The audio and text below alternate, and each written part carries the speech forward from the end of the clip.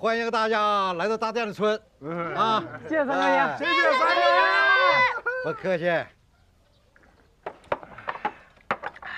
来，大伙吃菜。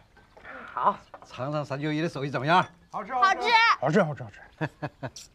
高阳，现在还怕狗吗？我就没怕过狗。哎妈，你还不怕了？刚刚都跑出残影。虎子多文明啊，它不咬人。是 是是。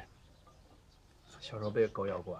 哪有没有，多少年前的事情了。吃饭吃饭吃饭吃饭，好好吃。多少年前的事情，我都记得。我就没见过高阳这么贪玩的孩子。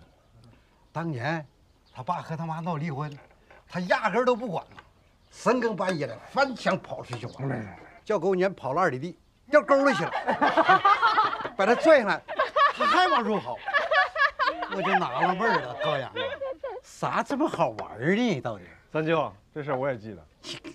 高阳，跟大家说说呗，当年干啥去了？没啥没啥没啥，来快吃快吃，别提那个老掉牙的事了啊！吃饭吃饭吃饭，嗯，吃这。来来来，走进来，快来。哎，小明星，哎，小明星在哪儿呢？村长咋来的？哎呀，在这儿呢。哎 呀，小明星，高兴认识你啊！你好，你好。我得感谢你啊！自打你给我们村代言呐，我们农产品的销量啊，要蹭蹭的往上涨啊！哎呀，主要还是咱们村农产品质量好呀。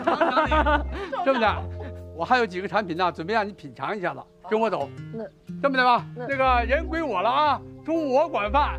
好，走走走。哎哎，你慢慢吃啊，我慢慢吃，慢慢吃啊，慢慢吃。哎，你还有几样农产品是吧？对对对，行，走。哦，代言红薯的原来是他呀，三舅，我学生。